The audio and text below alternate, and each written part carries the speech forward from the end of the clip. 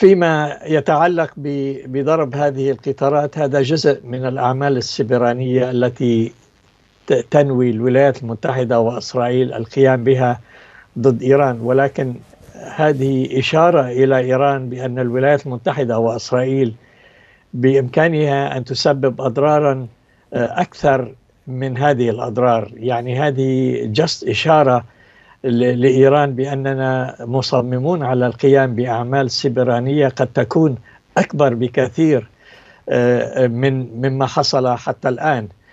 آه، أود أن أشير إلى إلى ما حصل في في أيام آه، في عهد أوباما عندما كان بايدن نائبا له. كان هناك طائرة بدون طيار في طريقها في في منطقة الخليج. استطاعت إيران بواسطة ال ال الأدوات الإلكترونية آه، جلب تلك الطائرة إلى إيران.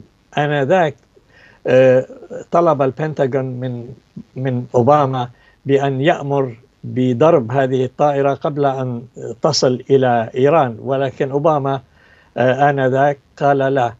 سمح لإيران بأن يعني تصل الطائرة إليها سليمة وبذلك استطاعت إيران أن تؤمن يعني آه، آه، طائرات بدون طيار بواسطة تلك الطائرة. في جميع الأحوال الأدوات الإلكترونية المتواجدة لدى إسرائيل هي متقدمة جدا وبإمكان إسرائيل أن تقوم بأعمال آه، كبيرة جدا ليس فقط على صعيد ضرب القطارات ولكن على أصعدة أكثر بكثير مما حصل لكن لماذا اشتكت إسرائيل؟ إسرائيل اشتكت كثيرا قبل أيام قليلة في نيويورك تايمز في صحف الأوساط الإسرائيلية. ليس لدينا المقدرة لا نستطيع ضرب عدد من المنشآت وغيرها من المنشآت النووية. غير قادرين على الوصول طائرات الكيسي 46 لتزويد الوقود يعني قديمة عمرها أكثر من 50 سنة بحسب تصريحاتهم هم. يعني لماذا يشتك يشتكون؟ وفي جانب آخر من إسرائيل يقولون لا نحن لدينا الإمكانيات. هل نحن أمام تمويه أمام خدعة في الإعلام للتجهيز لأمر ما أم ماذا؟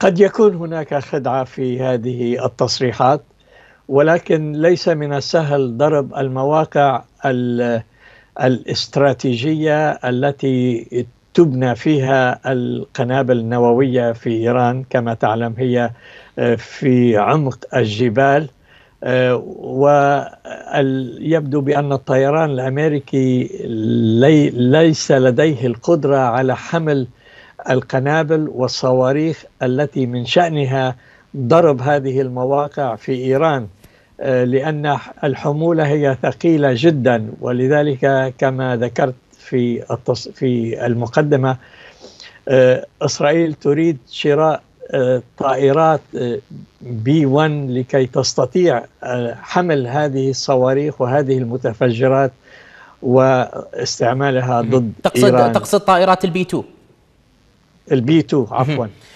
آه، ويبدو بأنه هناك تردد في الولايات المتحدة حول هذا الأمر. ولكن آه، دعني أضيف شيء مهم أنه في سنة 2016 أصدر الكونغرس الأمريكي قرارا آه، قانونا طلب فيها أو ألزم فيها الإدارات الأمريكية القادمة بأن تعمل ما بوسعها لمساعدة إسرائيل من الناحية العسكرية آه، للحفاظ على أمنها.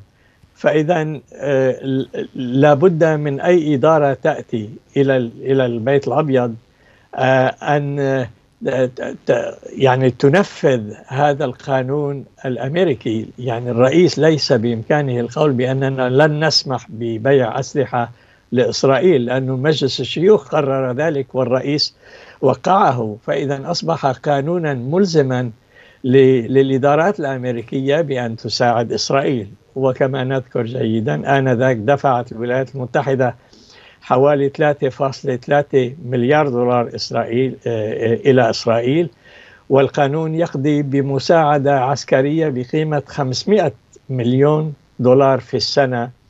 للحفاظ على الأمن النوعي السلاح النوعي للجيش الإسرائيلي.